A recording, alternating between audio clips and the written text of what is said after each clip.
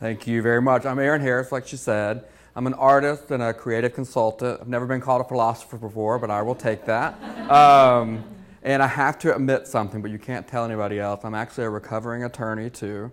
Um, so, anyways, I've actually been described as terminally curious, and anyone who knows me knows that comes with millions and millions of questions about everything from what they did last night, what they meant when they said that, that time, three years ago, all those kinds of things. But that curiosity has really helped me in my art and in my life. Um, art actually forced me to ask questions of myself and eventually to ask questions of others. Um, here's some examples of some of my work. And um, I've actually found that most people have questions about art, such as what is art, what can be art, and the most famous question is what the hell does it mean? Um, but I actually think that art is presenting us a question. So the real thing we should be asking is what is art asking us? See, art seeks to engage you beyond whether you like the painting, whether you like its colors, whether you agree with what it looks like or where it's at, should it be there or not. It is actually asking you to look inside and see what is it wanting you to address in your own life. Art actually is powerful as a question. It literally has the power to spark a response in somebody, anything from a personal response to an emotion or an issue in their life, or it can spark a response in the corporate setting with hundreds of people in one space. Um, it actually seeks to invoke a challenge in you for you to change, to grow, to move, to respond, to buy something. Art is being used in that context now. Um, and all this by simply presenting a question. Here, this is a piece of art that myself and two other artists worked to create, and we wanted to present the question of would you, as the viewer, be willing to help fight slavery that still exists in our world today? So we worked to highlight people that are fighting slavery today and connect them to people who used to fight slavery, like Abraham Lincoln, Martin Luther King, Frederick Douglass, Harriet Tubman, William Wilberforce. And through honoring current people, we were asking the other viewers, would you be willing to join in the fight as well? Um, and through this, art is actually, through its questions and challenges, completely wrecked my life. It asked me to leave my career as an attorney so that I can embrace art which led to me going bankrupt, losing my home, actually losing everything. So when I actually think about it, I'm going, it, why would I still want to do art? It ruined me. But it actually made a new and better me. I want to go through some of the questions that art asked me. In these paintings here, on the painting on the left, art asked me if I would be willing to admit that pornography had hijacked my brain. In the middle, as you can see, it says, if you can't read it, it says, I must confess, I tried to cover my mess before you could see me. Art asked me to stop doing that. And in the painting on the right, Art said, Would you be willing to reveal your secret so that you can find freedom? In these next paintings, Art asked me to address the question of what is depression in my life. Would I be willing to see that hope and happiness could come to the forefront in front of depression?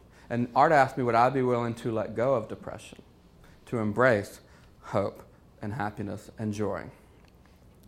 Here, Art asked me if I would realize that my life was swiftly passing me by as I struggled with addiction and facing addiction and looking at it and only thinking about myself every day, and life was moving right on by. I answered that question. I was able to pick up with life. Here, Art asked me a very challenging question in response to a friend of mine's mother's murder said, Can life and tragedy exist at the same time? Does everything have to be painless for you, for you to start living? Here, Art asked me if I was willing to invite faith back into my life as a beautiful way to learn and to grow. Then here it said, Will you acknowledge that you made a beautiful mess of your life? And will you institute new structures so that you could keep addiction from gaining power over you again? Now, this one asked me the most personal question. It asked me if I would be willing to finally quit hiding and embrace the truth of sexuality in my life. If I would put down the hiding and this whole fabricated system I created to act like it didn't exist in me. Um, this one I'm still working through, and you can see it's a lot. There's a lot there. Um, a couple other things that art actually did. It wasn't just really about me.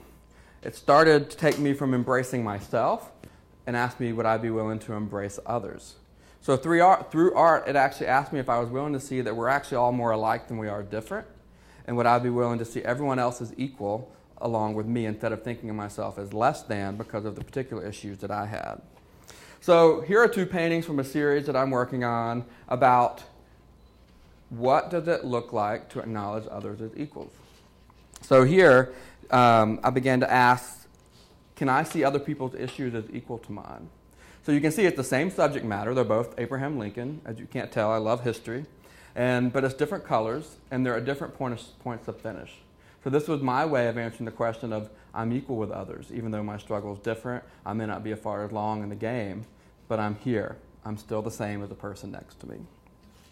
Um, further, it asked me if I would finally see my struggles as something to be willing to take public.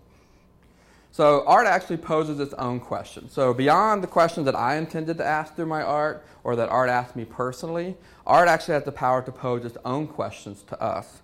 Yet the questions posed will be different depending on who you are as a viewer, what your expectations are, your experiences, and your interpretations. Um, art actually has the ability to enhance an experience, an environment, which is what I do now is use art to enhance someone's experience. It can actually engage you beyond just sitting at a conference and listening to a speaker. It can actually use questions and by asking the questions in a reinforcing manner, get you to really hit a point home and really make a response and change. I recently did this. I did an exhibit um, where we asked the question of what does it actually look like to lead? What does that mean? Who can do it? Who's included? Who isn't?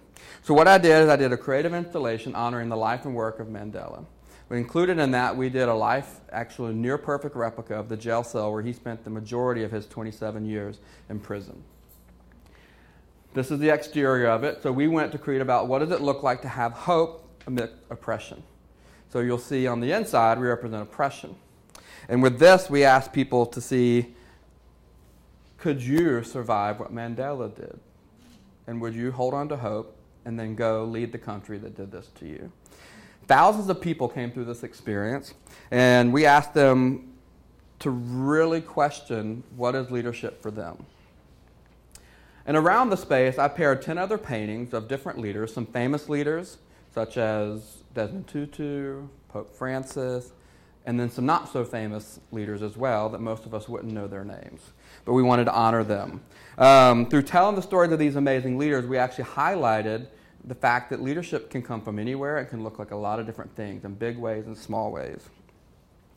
For instance, here with Pope Francis, we asked the question of what does leadership actually require of you? And we show here Pope Francis hugging the diseased man. I don't know if you're familiar with that image.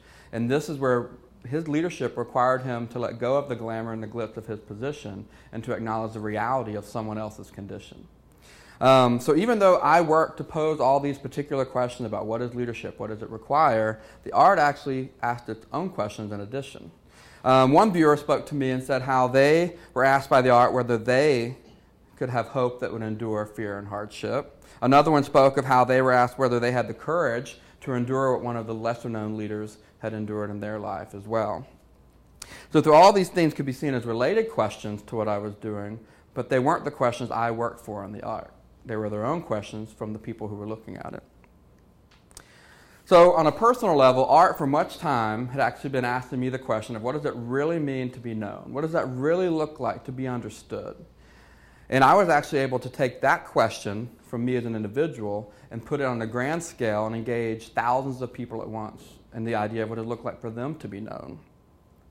So, in my studio, I worked to create something to help people do that. So, like, my, like many of you, I spent most of my life hiding from everyone. You'll see I had addictions, I had all these things I was trying to close out and act like it didn't exist. I thought that I had to choose between being fully known or being loved, fearing that if people really knew me, they wouldn't love me. Art, through its questions, taught me that I could be fully known and fully loved at the exact same time. It also taught me that other people wanted to be able to do that too. So it offered me the opportunity to do this in front of 12,000 people plus in one arena, and then it traveled and did it for thousands more. And the art of knowing was about the question of what does it look like to reveal the inner workings of a person, yourself or someone else. So I created string art, and here are some examples of parts of the string art. And I literally did this on a grand scale so that I could draw over 12,000 people in one space into the idea of what does it look like for them to be known as well. And I had them choose to, be, to talk about what it would look like to be known in a way that would invite love in their life instead of judgment. The string was installed in a huge arena. This gives you a little idea of what that looks like um, for this large scale event. This will give you a little bit of idea of the scale of it. So I was going to be known in a really big way. I wanted to talk about this as a very big issue for people. Um, and then to further enhance the experience, we paired it with a video of me telling the story of one of my deepest, darkest secrets. So, in front of 12,000 strangers, I talked about my issues with sexual addiction on a video for all of them to hear, and paired it with the idea of being known, the inner workings, the stitchings of who I was as a person. As you can imagine, this made me very sick to my stomach to be sitting in the arena and hearing people, waiting to hear people's responses. But what I realized is that people were starving for authenticity. They were starving for vulnerability. They were starving to be known for themselves. So when I creatively asked them if they'd be willing to become known with me, it was met the response of cheers and a standing ovation. Um, a response of love was literally sparked in response to the art. The question of, would you accept this person who is choosing to be known? Therefore, could you be known and accepted as well? So when I answered Art's question of was I willing to be known, others joined me in it and responded with it as well. So, in closing, I want to leave you with a thought. If you've ever struggled with appreciating art, embracing art, understanding art on any level, next time I want to try to get you to view it through this one lens. Ask yourself, what is art wanting me to answer personally? You might find that you can actually enjoy on a whole new level. You might even enjoy the artist or even other people on a whole new level as well. So think of art as a question, a question that's just for you. Thank you.